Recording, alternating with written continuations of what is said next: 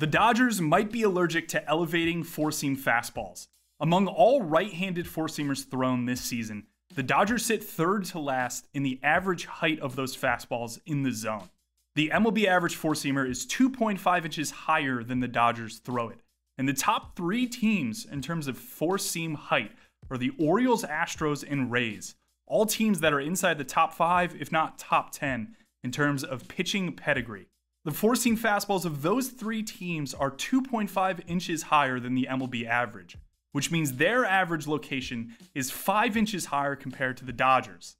It's not that the Dodgers' particular kind of four seam fastball shouldn't be thrown high either.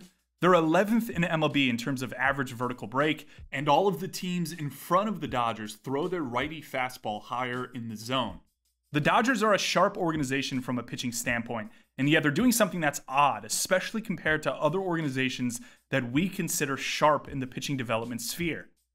Yoshinobu Yamamoto's fastballs to either handedness have been mostly away. Tyler Glasnow came over to the Dodgers from the Rays and subtly started throwing his fastball more away from righties than up. Ryan Pepiot went to the Rays from the Dodgers and started eliminating any pitch that was more middle of the zone. In this small sample of Bobby Miller's fastballs we have, his location to righties has been away, not up, and this is a change from the prior year. Gavin Stone even throws his four seam away to righties most of the time. The five pitchers I just mentioned too all miss bats at the top of the zone with their four seam fastballs. This goes for Yamamoto. This goes for Glasnow. It goes for Pepiot too when he was with the Dodgers. It also goes for Bobby Miller and Gavin Stone. I get the overall number of five inches between the highest and lowest four seam locations in the league seems small, but I often think in these high level looks at things, it helps us learn something. So, why? Why take this approach as the Dodgers, especially when the evidence supporting elevated fastballs is so strong? Four seamers, especially those that have good or even average carry, perform better at the top of the strike zone especially on a swing miss level, and to some extent in terms of expected slug or your favorite expected damage metric. I have a few ideas to justify this strategy for the Dodgers. Number one is that the Dodgers as a whole and their starting pitchers don't throw a lot of sweepers, and I think they might be using the away fastball to disguise to some extent their harder sliders. The Dodgers have the fourth lowest percent of what I would classify as sweeper sliders in innings one through five 1.1% where the average is nearly four times that amount. Tunneling is a concept we hear about a lot, but I often think what we're really talking about is just location. A fastball up and a tighter slider down separate pretty quickly in ball flight. If you were to hold everything else constant and just move the fastball location to more middle away, the gap between those two pitches in ball flight would be closer. You can look at tunneling on an arsenal construction level, which I think has some merit for sure, but most of the time, the tunneling we reference or see on Pitching Ninja is just a guy hitting spots on consecutive pitches. So, does moving the average fastball location closer to the slider help the breaking ball play up? Maybe. I know this point is anecdotal. I'd be curious to see some research on it, but I've heard it from enough coaches and players that I respect to consider it as plausible. I think one of the problems here on the public side is that we don't have full ball flight information. We have observed and inferred axis. We know what happens at release and what we expect to happen by the time it gets to the plate. And we, then we know what actually happens. But when that pitch is breaking in ball flight, we're kind of blind to. And I wonder if, in fact, teams have a better understanding of this, perhaps the Dodgers, and apply it to this concept. The number two reason to justify this idea from the Dodgers has to do with predictability. I got a chance to talk to Padres starter Michael King about this very topic. He actually moved his primary four seam fastball location to the outer third of the plate versus right handed hitters this season, which you could see in this plot compared to pounding it up in 2023. So, why move it to that away part of the plate? I want to show multiple looks in different locations, so I used to always just down and force them down. Um, I think four seam down away adds a wrinkle in the arsenal that I can throw early in the count, where normally I was always just like laying them down, I was going to throw as hard as I can, top the zone. Uh, as a reliever, you can live in one zone with one pitch. As a start, because they're only going to see it once or twice in at that. As a starter, I got to throw multiple times to both sides of the plate. And now I can get to two strikes easily by throwing two pitches that I'm very comfortable with locating away to, to right.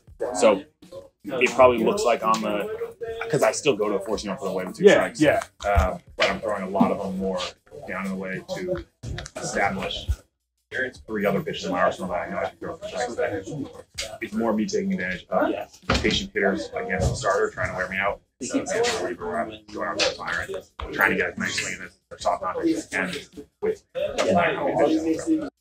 I would imagine to some extent the Dodgers would agree with Michael King. I've always wondered whether breaking an individual pitch into multiple locations against a hitter effectively creates a second pitch. The most obvious example I could think of right now is Javier Assad, who throws his cutter both inside and outside to left handed hitters. If you're prepping as a hitter against Assad, I think there's merit to the idea that you wouldn't just say Assad throws a cutter, you'd say he throws a cutter inside and outside. The same goes for middle away fastballs. Even if they're count driven location changes, like elevating fastballs late in the count, I would bet that it's not exclusively count driven, meaning you can shock a hitter, so to speak, by flipping the location to up early in the count when they get too comfortable with that away fastball.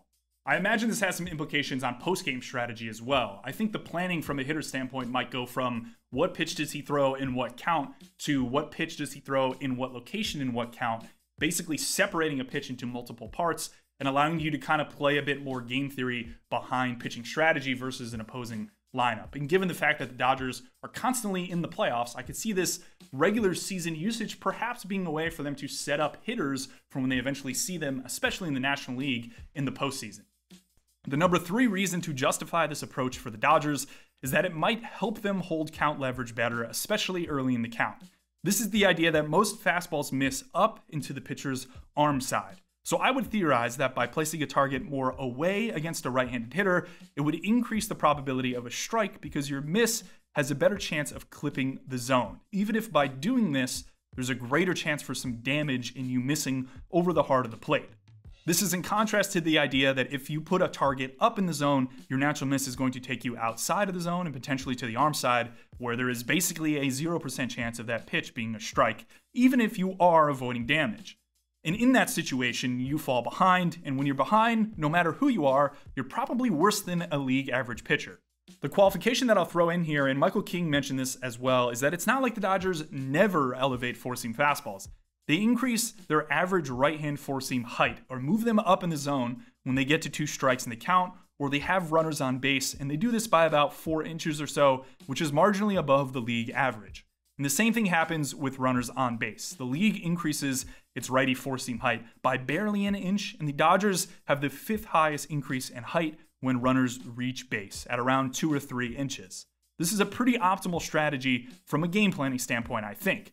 I've heard it called the Verlander approach before, related to the idea of being really aggressive in the zone when your risk of loss is lower, and that risk of loss being solo home runs, which are probably not going to beat you as a pitcher. So that's my assessment as to why the Dodgers don't really elevate fastballs a ton. There's a really good analyst out there named Nick Pollack who works for Pitcher List, runs Pitcher List, and he has this idea of what he calls high lock or high location. How often are you throwing a fastball up in the zone? And I think to some extent, listening to his analysis and talking to him a bit, that he really likes that elevated four seam fastball. And I think it makes sense, especially when you look at it from the data angle. But I've heard that so much from him that this video is inspired by trying to think counter to his point. Why would an organization or a team or a player value the away fastball? And these are the couple reasons I came up with. And it's funny because I do think there's some justification for it. I see both sides of the argument. I think I come down somewhere in the middle to some extent. The Dodgers like vertical movement, and we have seen some situations for where guys with outlier vertical movement, perhaps, or flatter approaches really hammer the top of the zone. I'm talking about Emmett Sheehan and Landon Knack here. So maybe there is some variation on the shape of the fastball in particular and where they're comfortable putting it in the zone. But it seems like even guys like Tyler Glasnow and Yamamoto, etc., who I would argue have average or above average vertical movement or unique enough shapes